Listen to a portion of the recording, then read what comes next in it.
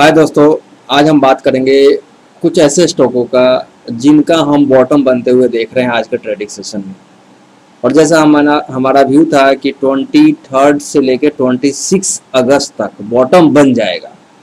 तो सबसे इम्पोर्टेंट आज ये दे, देखना है हमें कि आज जो वीकली ब्रेकडाउन नहीं हो रहे हैं आज और कल वीकली ब्रेकडाउन लेवल को होल्ड कर लेते हैं। और पिछले कई दिनों से गिरावट के ट्रेंड में है डाउन साइड ट्रेंड में चल रहे हैं स्टॉक उन पे ध्यान देना चाहिए। उसमें से एलआईसी हाउसिंग फाइनेंस मुझे दिख रहा है बॉटम बनते हुए। लेकिन अभी भी ट्रेडिंग के दो घंटे बाकी है। आज मॉर्निंग में अपडेट नहीं देने के कारण मैं अभी अपडेट दे रहा हूँ आप लोगों को लाइव मार्केट में। तो सबसे इम्पोर्टेंट थिंग थिंग कि 369 वीकली ब्रेकडाउन लेवल है। मीन्स इसके नीचे की क्लोजिंग इस हफ़्ते का नहीं होना चाहिए। स्टार्टिंग फ़ेज़ में। मीन्स आज मंडे और कल ट्यूजडे दो ट्रेडिंग सेशन है इस हफ़्ते का।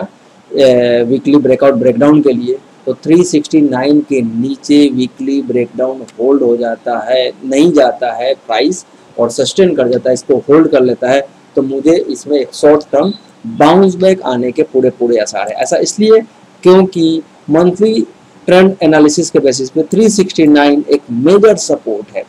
और 316 363 एक, एक मेजर सपोर्ट है वीकली 369 है और नीचे अगर ये टूट भी जाता है तो इस मंथ का मैक्सिमम डाउन है 330 का हो सकता है। तो 369 वीकली ब्रेकडाउन होना अगर होल्ड हो जाता है वीकली ब्रेकडाउन नहीं होता है ब्रेकआउट नहीं हुआ ब्रेकडाउन भी होल्ड हो जाता है तो कहीं ना कहीं निचले लेवल से बाउंस आने के पूरे पूरे आसार हो सकते हैं।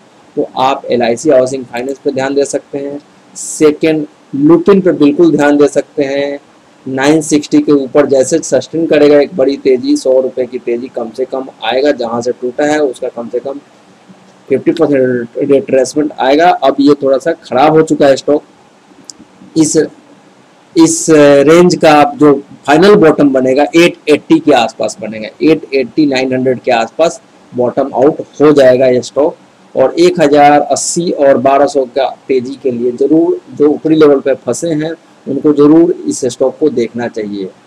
Second RBL bank RBL bank में भी 156 तक का मुझे एक अच्छा खासा सपोर्ट दिख रहा है। 156 156 और वीकली ब्रेकडाउन 159 है। 159 अगर होल्ड हो जाता है आज और कल तो अच्छा खासा एक बाउंस बैक दस रुपए से बीस रुपए की बाउंस बैक आ सकता है। देखिए, बाज़ार में मैं बुलिस नहीं हूँ लेकिन बॉटम फिशिंग शॉर्ट टर्म के लिए दो या एक हफ़्ते के ट्रेंड के लिए देखा जा सकता है और लॉन्ग टर्म के लिए ऐसे स्टॉकों को एकुमुलेट करने में कोई हर्ज नहीं है। तो आप इन स्टॉकों को देख सकते हैं। RBL bank LIC housing finance and Lupin ये तीन स्टॉक ऐसे हैं इस गिरावट में खरीदारी की खरीदारी की जा सकती है। सेकंड थिंग मैंने निफ्टी का व्यू दिया था। निफ्टी का व्यू दिया था और आज निफ्टी का ट्रेंड को मैच कर लीजिए। एग्जैक्ट वही मैच किया। हमने क्या बोला था? 575 के आसपास आता है तो हम सेल करेंगे। वहाँ से हमें 100 पॉइंट का डीप मिला। वीकली ट्रेंड एनालिसिस में मैंने क्लियर कट सैटरडे कल मॉर्निंग में संडे में क्लियर कट व्यू जो दिया था, उसी व्यू पे मार्केट रिएक्ट कर रहा है। और ये ट्रेंड हमने बहुत पहले बोल दिया था। एक महीना पहले बोला गया था कि ट्वेंटी थर्ड और ट्वेंटी सिक्स अगस्त तक बॉटम बनते हुए दिखेगा। और बाज़ार में इस बॉटम पे बहुत ही स्पेसिफिक स्टॉकों में ही हम तेज़ी करेंगे। ऐसा नहीं कि वन वे तेज़ी आएगी। इंडेक्स में अभी भी ट्रेंड रिवर्सल नीचे की तरफ़ नहीं हुआ है और बहुत जल्दी एक अच्छा खासा इंडेक्स में भी रिवर्सल होने वाला है। कहीं ऐसा ऐसा ना हो कि मंथ के एंड में एक हाई लगे निफ्टी में भी और फिर बाज़ार वहाँ से फिर से गिरे। तो किसी भी स्टॉक पे अगर खरीदारी कर रहे हैं तो शॉर्ट टर्म के नज़रिया से खरीदिए या लॉन्ग टर्म का नज़रिया है। हर डिप पे आप, अगर आप बाइंग कर सकते हैं बाई ऑन डिप स्ट्रेटजी आपके पास है। और होल्ड कर सकते हैं तो लॉन्ग टर्म के लिए बहुत सारे स्टॉक बॉटम तो बना रहे हैं और भी गिरता है तो एकुमुलेट करने का अच्छा टाइम है।